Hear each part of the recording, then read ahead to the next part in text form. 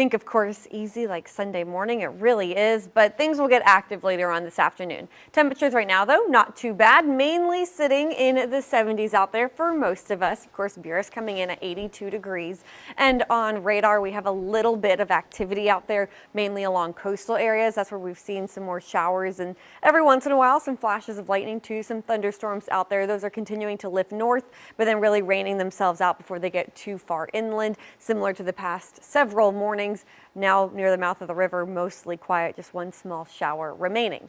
So later on today, mostly sunny, hot and humid. Highs will be around 90 to 94 degrees. Heat index values likely around or over 100 degrees. And then we do have a chance of rain and storms again, about a 40% chance of rain today. So not everyone's going to see rain, but you can see as we head into the afternoon hours, there's your timestamp there, we will see some more redevelopment of showers and thunderstorms into our afternoon and early evening hours. Very similar to the past couple of days as well.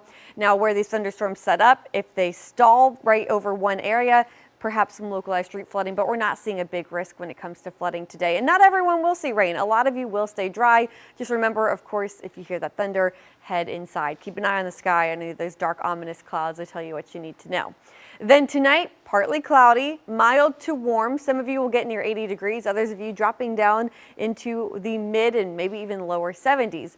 And we will have some isolated coastal rain.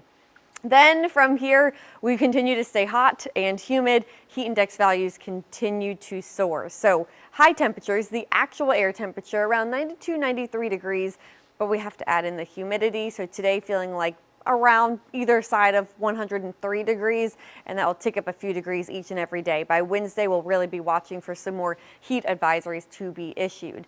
Now today, perhaps the heat advisory issued for northwestern areas, but overall, I think most of the South Shore, we're going to stay too cool, even most of the North Shore too. We'll keep a close eye on it though. Again, later as we head into the work week, that's when heat advisories will likely become more likely. That requires a heat index value or feels like temperature of around 108 plus degrees. As for rain chances, it's just those scattered afternoon showers and thunderstorms, 40 to 50% over the next several days. Luckily, nothing tropical out there though.